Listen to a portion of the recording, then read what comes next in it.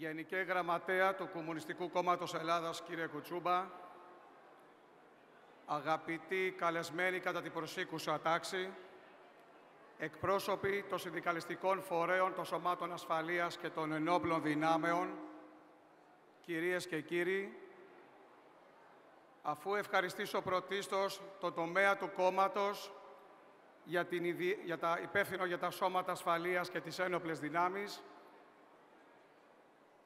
για την ιδιαίτερη τιμή και χαρά της πρόσκλησής μας σε αυτή την όμορφη εκδήλωση που διοργανώνεται εδώ σήμερα, στο Στάδιο Ειρήνης και Φιλίας, να ευχηθώ μια δημιουργική χρονιά.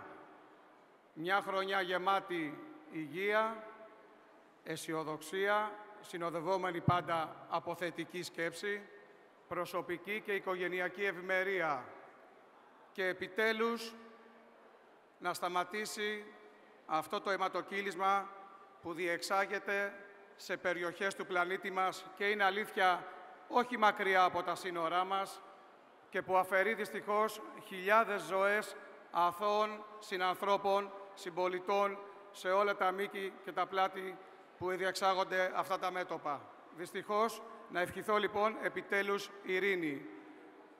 Όσο εκπρόσωπος των πυροσβεστών, εύχομαι προς όλους τους συναδέλφους μου όσο το δυνατόν λιγότερες επεμβάσεις, ελάχιστα συμβάντα, γιατί αυτό συνεπάγεται ταυτόχρονα λιγότερες ανθρώπινες απώλειες και περιουσίες. Και όσον αφορά και την επερχόμενη αντιπυρική περίοδο, να ευχηθώ ένα δασικό μας πλούτο ακέραιο.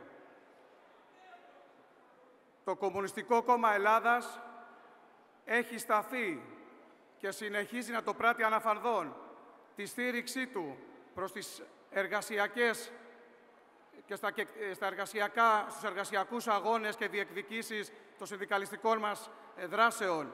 Έχει συμπαρασταθεί αμέριστα, έχει δείξει πολλάκις την εμπιστοσύνη αλλά και την αγάπη του προς τα σώματα ασφαλείας και τις ένοπλες δυνάμεις. Την ίδια ώρα, δυστυχώς, που η πολιτεία και οι εκάστοτε κυβερνήσεις αρνούνται πεισματικά για να μην πω προσβλητικά για εμάς τους εργαζομένους στο πυροσβεστικό σώμα, την μία αναγνώριση του επαγγέλματός μας ως επικίνδυνο και αφηγηνό. Και μέσα σε όλα αυτά, με την περιβόητη κλιματική αλλαγή, όχι απλά να μην έχει συντελεστεί, αλλά να εξελίσσεται με τρομακτικούς ρυθμούς και δυσμενέστατες συνέπειες καθημερινά, προξενώντας εντύπωση ακόμα και στους ίδιους τους επιστήμονες παγκοσμίως.